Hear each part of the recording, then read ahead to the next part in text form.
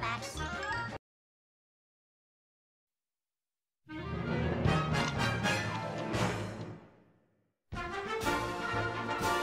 Newsreel of the Stars. Dateline Hollywood 1930, the Warner Brothers studio. Here at the studio's new animation department, the artist toiled endlessly to come up with cartoon stars, ultimately creating three new characters the Warner Brothers and their sister Dot.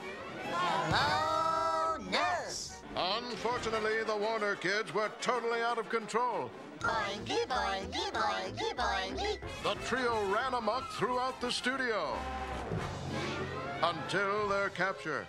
The Warner's films, which made absolutely no sense, were locked away in the studio vault, never to be released. As for the Warners themselves, they were locked away in the studio water tower, also never to be released.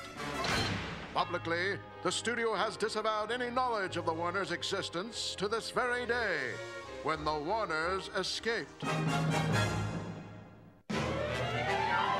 It's time for Animaniacs. And we're zany to the max. So just sit back and relax. You'll laugh when you can laugh. We're Animaniacs. Come join the Warner Brothers. And the Warner we run around the Warner movie lot. They lock us in the tower whenever we get caught. But we break loose and bend the moose, and now you know the plot. We're Animaniacs. Dot is cute and Yakko yaks. Wacko packs away the snacks while the Plankton plays the sax. We're Animaniacs. Meet Pinky and the brain who wants to rule the universe. Put feathers flock together, slappy wax them with her purse. what Button chases Mindy while Rita sings a verse. The writers split, we had no script,